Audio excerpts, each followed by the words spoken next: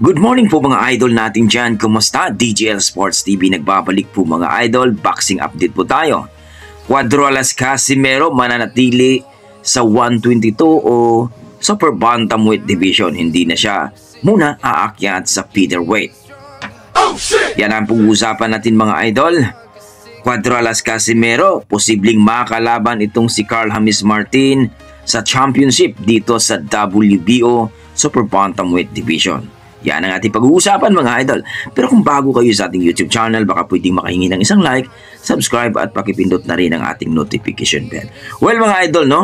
Uh, ito nga ang ating Quadrolas Casimero mga idol, ang ating nag-isang angas ng Pinas, ay uh, kabago-lago lang na nanalo dito kay uh, Saul David Sanchez, ang isang American Mexican na kung saan mga idol. TKO ang inabot dito kay Quadrolas Casimero.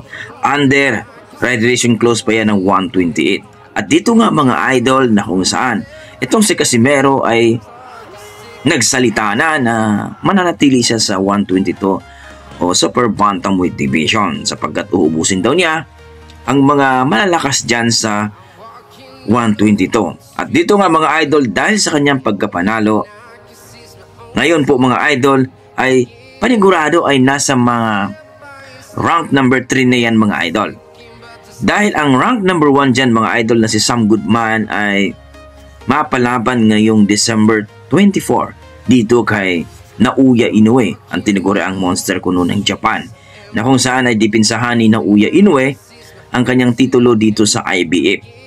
At dito nga mga idol, panigurado, bugbugin lang yan ni Nauya Inoue. Etong si Sam Goodman. So pababa na yan sa ranking mga idol. Gaya na sinabi natin mga idol, kakapanalo lang ni Cuadrolas Casimero dito kay Saul David Sanchez ay maaring magiging rank number 3 na ito mga idol. At si Martin din mga idol, ang rank number 2 ay mapalaban daw din ngayon sa December.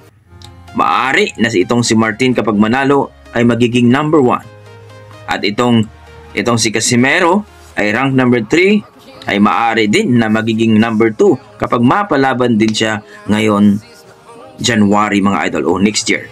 So, posible na itong si Casimero at itong si Carl Hamis Martin ay maaring maglaban sa WBO Championship. Dahil itong si Nauya Inoue mga idol, aakyat na yan ng featherweight division kapag manalo na dito sa IBF dito kay Sam Goodman kasi tapos na po siya nagdepensa sa WBO dito kay TJ Duhene. So maliwanag sa maliwanag mga idol na itong si Casimero at si Martin ang maglalaban for championship bout mga idol.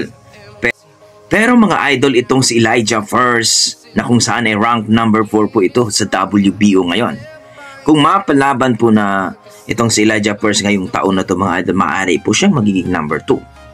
So posible po ito mga idol na itong si Martin at si Elijah First ang maglalaban for WBO Championship. Kaya kailangan ni Cuadrolas Casimero na mapalaban next year mga idol sa January para masigurado ang kanyang pagiging number 2 o pagiging number 1 dito sa WBO. Para sila na maglaban sa championship bout dito kay Carl Hamis Martin kapag ito'y aakyat na si Nauya Inoue kasi wala na pong babalikan si Nauya Inoue sa WBO sapagkat tapos na po ang kanyang uh, pagdepensa sa WBO dito kay TG Duhini. So kailangan mga idol maintindihan natin na ang dalawang tauhan dito na itong si Elijah Purse at Martin ay alaga ni Sean Gibbon dyan. So kailangan talaga ni Cuadros Casimero ng malupit na promoter at malupit na manager para siya talaga ang magiging number 1 o magiging number 2 dyan sa WBO. Kung sakaling mapalaban siya next year mga idol at impresibo ang laban. So kayo dyan mga idol, ano masasabi nyo sa ating video?